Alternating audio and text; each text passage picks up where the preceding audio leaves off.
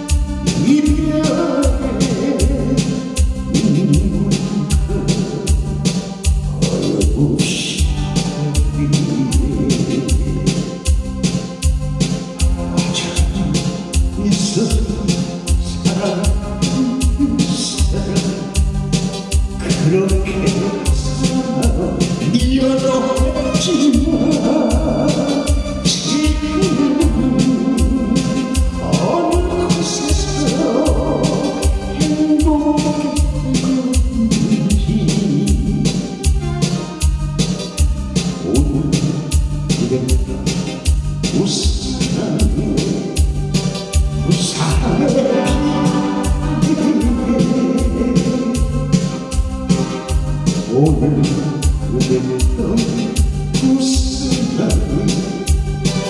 사람의 이만